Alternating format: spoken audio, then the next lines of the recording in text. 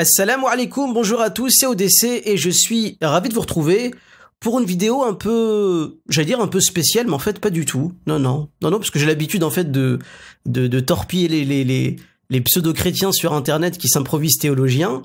Et là, je suis tombé quand même sur une perle, hein, sur une perle qui s'appelle Semayas, le pasteur. Attention, le pasteur Semayas. Et ce fameux pasteur Semayas, alors lui, en, personnellement, il m'intéresse pas. Hein.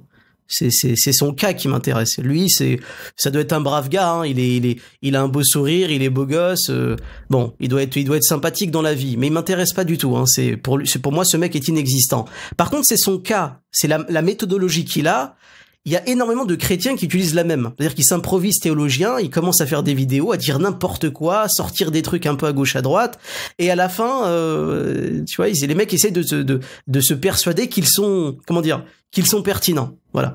Donc, je voulais faire une petite vidéo réponse, mais avant de faire cette petite vidéo réponse, j'avais envoyé un message à Semayas. D'ailleurs, je vais le mettre là en incruste dans la vidéo et on va lire ensemble. Donc c'est un message Facebook, hein, sur sa page Facebook. Assalamu alaikum, bonjour à vous, je me présente, je suis Oasis de citation du compte YouTube du même nom. Je suis musulman, je suis étudiant en théologie. J'ai vu une de vos vidéos sur les musulmans que j'ai trouvé en toute honnêteté ridicule. Amateurisme, mensonge, déformation, ignorance biblique de base, bref, catastrophique. Je vais donc faire une vidéo réponse qui sera, pour vous, assez dévastatrice. Et croyez-moi sur parole, je ne dis pas ça à la légère. J'aimerais donc en parler avec vous par téléphone avant de la terminer, si cela est possible, bien entendu. Je n'aime pas prendre les gens en traîtres. Mais pour clarifier certains points, j'ai besoin de m'entretenir avec vous. Qu'on puisse en discuter ou non, je ferai tout de même cette vidéo. Je peux vous en assurer, je peux vous l'assurer. Si vous voulez, nous pouvons même nous rencontrer sur Paris. La balle est dans votre camp. Bonne journée. Donc moi, avant de faire une vidéo sur Semayas, je lui ai envoyé un message il y a un petit peu moins d'une semaine, j'ai toujours pas de réponse. Bon, il m'a pas répondu, je me dis, je vais essayer de lui trouver des excuses. Peut-être qu'il a pas le temps, peut-être qu'il l'a pas vu, peut-être qu'il euh, est occupé, je sais pas, peu importe. Mais je lui ai envoyé un message, il a pas répondu, donc moi, bon, vu que ça presse un petit peu, je, je vais quand même faire cette vidéo. Donc j'essaie d'être honnête avec lui, de discuter avec lui, bon. S'il esquive ou s'il a pas vu le message, on va dire tant pis pour lui. Tant pis pour lui. Alors, c'est Mayas, il a fait une vidéo assez intéressante, c'est euh, J'aime Jésus car je suis musulman. En fait, il critique le fait que les musulmans distribuent des barres chocolatées euh, avec écrit dessus euh, J'aime Jésus car je suis musulman. Ah, il a trouvé ça scandaleux, il trouve ça fourbe, il trouve ça machin, etc. Bon, ça à la rigueur, je m'en tape. C'est du, c'est de l'accessoire, c'est pas très intéressant. Ce qui m'intéresse, moi, c'est le, le contenu de sa vidéo, qui est vraiment là pour le coup à chialer de rire chialer de rire. Alors, vous savez, généralement, les chrétiens, quand ils font des vidéos sur Internet, évidemment, je mets pas tous les chrétiens dans le même sac, euh, parce que chaque chrétien a sa méthodologie, mais il y a beaucoup de chrétiens qui, quand, ils commencent à faire des vidéos pour parler de l'islam, euh, ils, ils commencent avec la même introduction, en disant, mais vous savez, euh, euh, moi, euh, je, je, je- j'ai beaucoup d'amour, j'ai beaucoup de respect. Voilà, c'est Mayas, il a commencé sa vidéo comme ça. Tout d'abord, je voudrais commencer avec, avec beaucoup de respect et beaucoup d'amour. Moi, Donc moi, j'ai trouvé ça un peu ridicule. Voilà, donc déjà, le mec, bon... euh, T'as pas besoin de me caresser dans le sens du poil si t'as un truc à me dire, au sujet- surtout au sujet de ma religion. Mais bon, on passe, c'est pas, c'est pas très grave.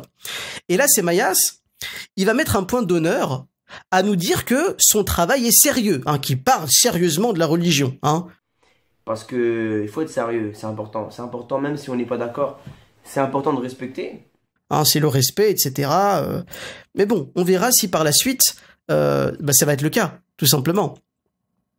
Et juste après, il emboîte par de la psychologie de supermarché en disant mais vous savez, euh, quand je fais cette vidéo, le problème, c'est pas les musulmans, c'est l'islam. Comme je le dis souvent, ce n'est pas le problème, ce n'est pas le musulman. Le problème, c'est l'islam en lui-même. C'est la doctrine, l'enseignement. C'est la racine. Parce que comme si chez nous, ça faisait une différence. Hein, euh, que tu sois, que tu méprises la soumission à Dieu, hein, c'est ça l'islam, hein, la soumission à Dieu. euh, c'est exactement la même chose que si tu disais que tu méprisais les soumis à Dieu, les musulmines. Pour nous, c'est pareil. C'est euh, islam, muslimine, c'est bon, c'est, des mots qui vont de pair. Bon, voilà. Le, problème de ces mayas, attention, c'est l'amour, les bisous et surtout, le problème, c'est pas les musulmans, c'est l'islam, le problème. Donc, on va commencer, Inch'Allah. Il commence à euh, 3 minutes 36. J'ai pris 4 points. 4 points qui m'ont largement suffi hein, sur 20 minutes de vidéo pour montrer un peu sa, sa, sa, sa bouffonnerie euh, euh, théologique. À 3 minutes 36, euh, il nous parle du Talnalk. De la façon que le Talnak, qui est le livre des Juifs, Alors, moi, je- moi honnêtement, j'ai ri aux éclats pendant deux heures et demie. Et j'ai tellement ri d'ailleurs, Wallahi, que j'ai même appelé, j'ai essayé d'appeler des rabbins. D'ailleurs, je vais vous mettre la vidéo en incruste, là, cliquez juste sur la vidéo. J'ai essayé d'appeler des rabbins, malheureusement, j'ai pas réussi à les avoir au bout du fil. Euh, mais j'ai essayé de les appeler pour leur poser la question de savoir ce que c'est que le, le Talnalk. Alors, je suis pas sûr qu'ils puissent me répondre. Moi, je connaissais le Tanakh, mais le Talnalk, euh, non. Je vois pas ce que c'est. Voilà. Donc, euh, Semayas nous dit que le Talnalk, c'est le livre des Juifs. Hein, c'est, j'ai envie de dire, à, à vos recherches. Hein, tout le monde, prenez Google et Talnalk. Cherchons le Talnalk. À 3 minutes 55, là, il dit une chose très intéressante. Euh, il dit, parce que Jésus est le Messie. Il est le seul Messie. Il n'y en a pas deux, il n'y en a pas trois. Il n'y a pas de premier Messie, dernier Messie, non. parce que Jésus est le Messie, il est le seul Messie, il y en a pas deux, il y en a pas trois, il n'y a pas de premier Messie, dernier Messie, non. Donc c'est Mayas, et les mots sont très bien choisis. Hein. Je veux dire, il est assez grand, il sait s'exprimer, il choisit ses mots, etc. Il nous dit que Jésus, c'est le Messie, pas un Messie parmi d'autres. Le Messie, le seul, l'unique. Il n'y en a pas avant, il n'y en a pas après. Le problème, c'est que Semayas n'a jamais lu l'Ancien Testament. Il sait même pas ce que ça veut dire Machia, je crois. Parce que franchement, c'est c'est prêcher, s'improviser pasteur et ne même pas connaître la signification du mot Machia, ça craint.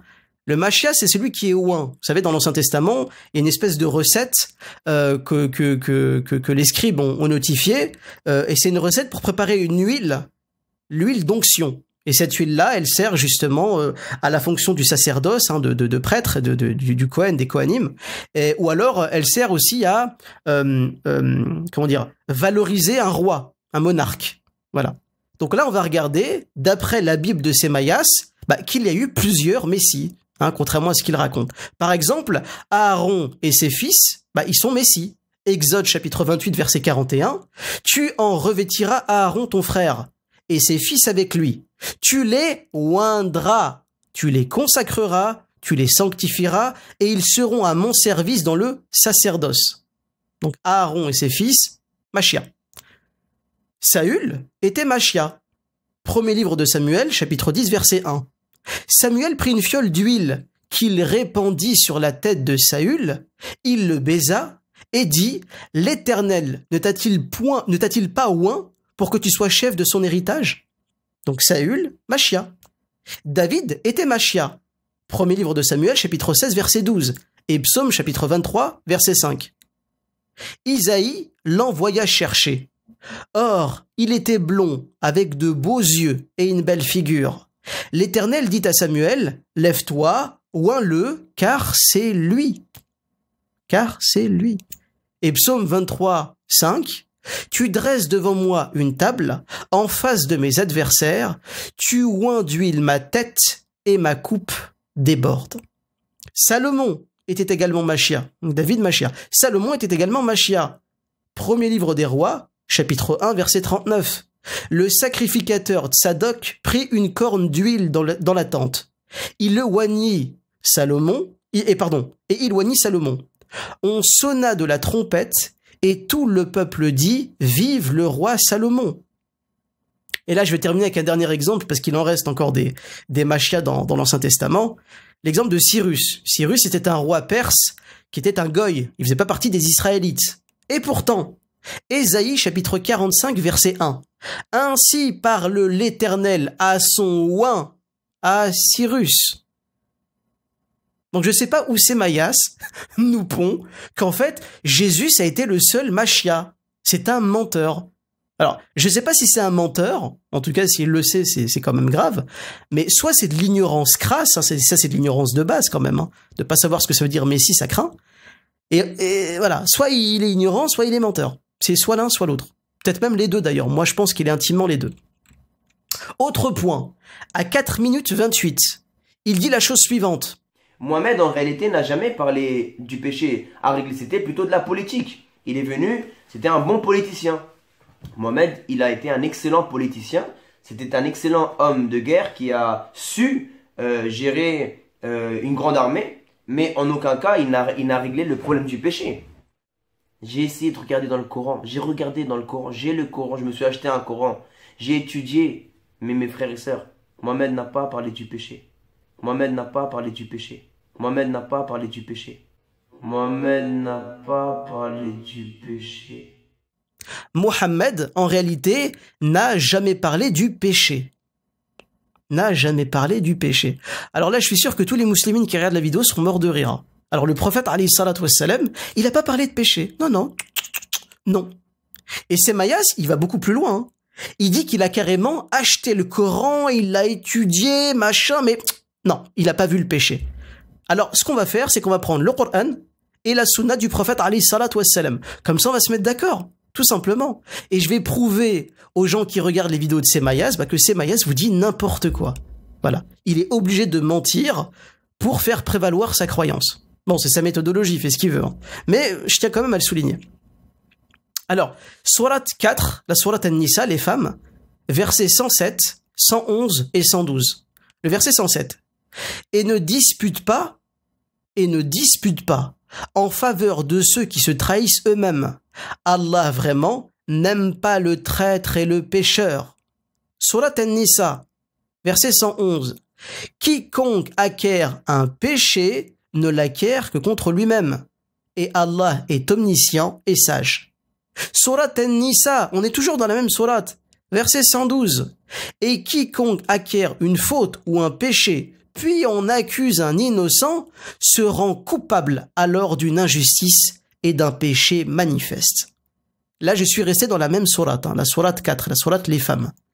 Même pas besoin d'aller ailleurs. Juste ça, là, c'est fini. Coraniquement, Allah parle pas du péché. Le prophète Ali salatu à qui a été révélé le Coran, il n'a pas transmis le Coran et donc il n'a pas parlé de péché. Bon, ça c'est étonnant, c'est Mayas. Là, on va prendre la sunna du prophète Ali salatu dans le, le, le Sahih de Al-Bukhari. J'ai pris deux hadiths, selon un rapporteur qui est Abu Huraira. Donc le premier hadith, c'est le suivant.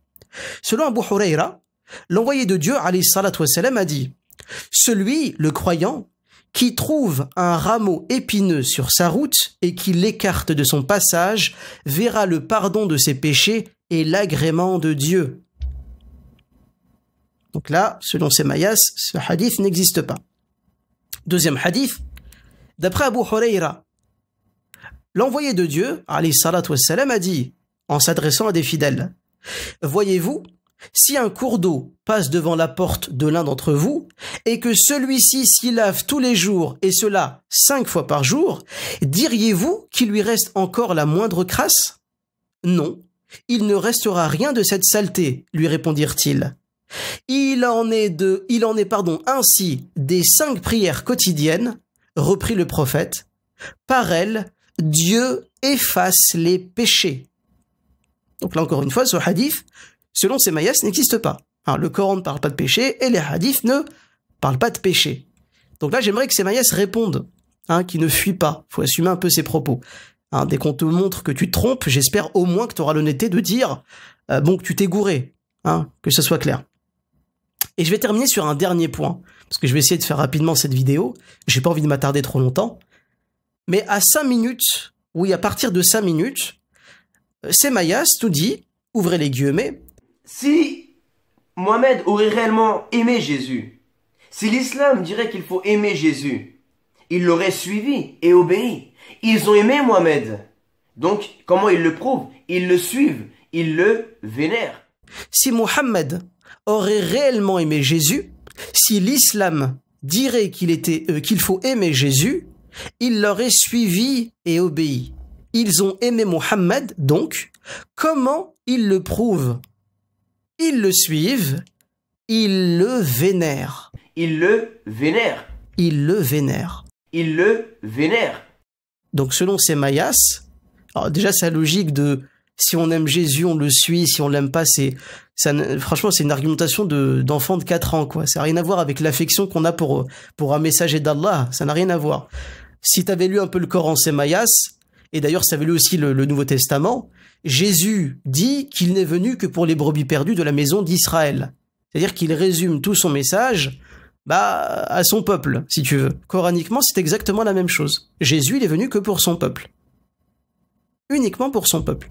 Et Allah subhanahu wa ta'ala dans le Coran, il affirme que le Coran, donc la dernière des révélations, est, comment dire, euh, prédominante sur les anciennes révélations.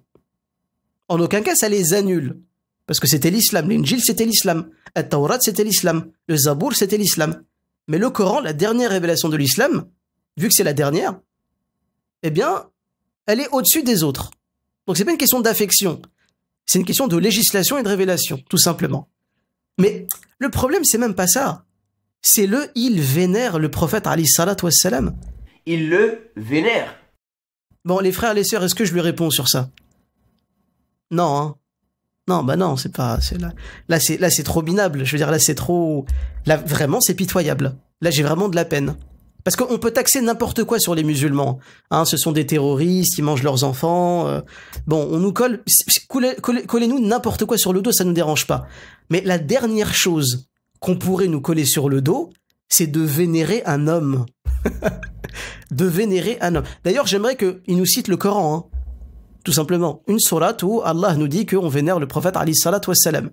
D'ailleurs, c'est tellement absurde, je vous jure, c'est tellement, tellement absurde, que, euh, euh, vous savez, le Rambam, je sais pas si vous connaissez, le Rambam Moshe Maïmonide, dans son euh, Mishneh Torah, il a parlé de l'unicité de Dieu chez les musulmans. Hein, ce qu'on appelle le tawhid, le fait d'adorer uniquement Allah sans rien lui associer. L'un des plus grands savants juifs de toute l'histoire du, peuple juif, lui-même, il le disait, et d'ailleurs, il trouvait ça assez, assez, assez bien. Il disait que les musulmans, eux, n'associaient rien à Dieu. C'est un pur culte à Dieu. Et évidemment, bon, hein, les chrétiens, on, c'est- on pourrait pas dire la même chose d'eux. Mais ça les regarde. hein. Ils ont leurs croyances, on a les nôtres, ça nous dérange pas. Mais bon, moi j'aimerais que ces mayas nous prouvent que nous, musulmans, on vénère le prophète Ali salat wassalam. Voilà. Vénérer, ça veut pas dire révérer. Hein. Nous, musulmans, on révère le prophète Ali salat. C'est-à-dire qu'on le respecte beaucoup, mais en aucun cas on le vénère. Hein. Peut-être que c'est Mayas, il a un problème au niveau de la sémantique, mais bon, les mots, ils ont leur importance. Et je vais terminer sur un dernier point.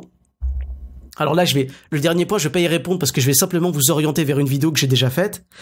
Euh, c'est Mayas nous dit à euh, 15 minutes 43, T'as le droit de dire que la Bible est falsifiée, même si c'est pas vrai. La Bible, c'est la même. Nous, on a accepté, on, a, gardé le livre des Juifs. Pourquoi le Coran dit-il que les Juifs ont falsifié leurs écritures? C'est pas vrai, frère. On peut pas dire ça. Tu peux arriver de nulle part accepter une nouvelle, avec une nouvelle religion. Tu n'es même pas annoncé dans le, dans le tu n'es même pas annoncé dans, les, dans le Nouveau Testament.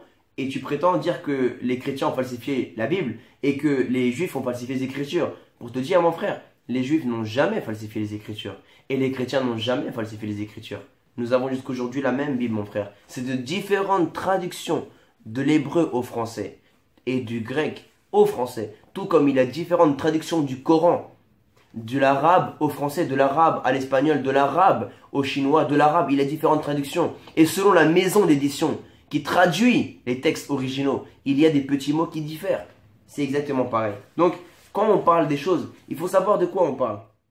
il nous dit la Bible n'est pas falsifiée, euh, les Juifs n'ont jamais falsifié les Écritures, les chrétiens non plus. Euh, il va même jusqu'à dire euh, que c'est une, il va résumer le truc à oui, mais c'est juste des traductions, ce qui n'a rien à voir. Hein. Donc quand on parle de falsification, on parle bien de falsification. On parle pas de traduction. Hein. C'est assez marrant de toujours systématiquement résumer ça aux traductions. C'est pas le premier d'ailleurs. Et il finit, et il finit. Et là, franchement, ça c'est le comble du comble. Il finit sa petite citation sur la falsification en disant Quand on parle des choses, il faut savoir de quoi on parle. il faut savoir de quoi on parle. Non mais attends, genre le mec, il nous dit à nous qu'il faut savoir de quoi on parle. C'est lui qui sait pas ce que c'est que le, le, le Tanar, Que le Talnak, il sait pas ce que c'est que le Coran, j'ai essayé de regarder dans le Coran, j'ai regardé dans le Coran, j'ai le Coran, je me suis acheté un Coran. il dit n'importe quoi sur le péché, Mohamed n'a pas parlé du péché. il sait pas ce que c'est que le Messie, il savait même pas qu'il y avait des Messies euh, avant Jésus. Il est le seul Messie. Il n'y en a pas deux, il n'y en a pas trois. Il n'y a pas de premier Messie, dernier Messie, non. C'est lui qui va nous dire attends attends pop pop pop hein il faut savoir de quoi on parle hein c'est parce que la Bible c'est sérieux. Eh ben eh ben eh ben ah non faut être cul faut franch- franchement faut être culotté hein. à ce niveau-là faut être ultra culotté. Alors, moi, je vous invite à cliquer sur la, vidéo d'incruste là que je mets sur la vidéo. C'est une vidéo que j'ai faite sur le manuscrit 4Q41. C'est des manuscrits qui ont été retrouvés euh, à Qumran et qui prouvent de manière factuelle que le Tanar, et en particulier la Torah, a été falsifié. Alors, vous pouvez prendre tous les mots que vous voulez, hein. Euh, falsifié, arrangé, harmonisé. Euh, L'auteur n'a fait que sauter une ligne, c'est pas grand chose. Euh, voilà, n'importe quoi. Au niveau de la paléographie, c'est-à-dire l'étude des manuscrits, c'est factuel. La Torah qui se trouve aujourd'hui dans la Bible des chrétiens, que vous soyez catholique ou protestant, bah, il manque des versets. Bah, tout simplement, il manque des versets. Et c'est pas les musulmans qui le disent. c'est non, non, non, non. Nous, on fait confiance aux paléographes. Hein c'est leur job, euh, ils savent ce qu'ils disent. Donc voilà, vous regardez la petite vidéo, elle dure 5 minutes. Ouais, je crois, ouais, 5 minutes à peu près. Et j'aimerais que Mayas, vu qu'il lui, il, affirme avec force que la Torah et la Bible n'a jamais été falsifiées, bah écoute, euh, tu vas nous le prouver. Hein tu vas nous le prouver. Et si tu arrives à nous le prouver, moi, je me convertis au christianisme. Ou à l'évangélisme, n'importe ce que tu veux. Je te suis, je vais t'aider dans le métro à chanter, à faire du gospel.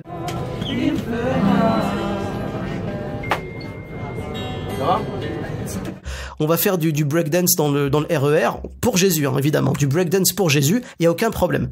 Mais il faut que c'est Mayas, vu que tu as dit que la Bible n'a jamais été falsifiée, ou que la Torah n'a jamais été falsifiée, ou que le Tanar n'a jamais été falsifié, il faut le prouver. Parce que le dire, c'est simple, le prouver, c'est une autre paire de manches. Voilà. Donc écoutez, moi je vais vous laisser. Passez tous une excellente journée, qu'Allah vous préserve.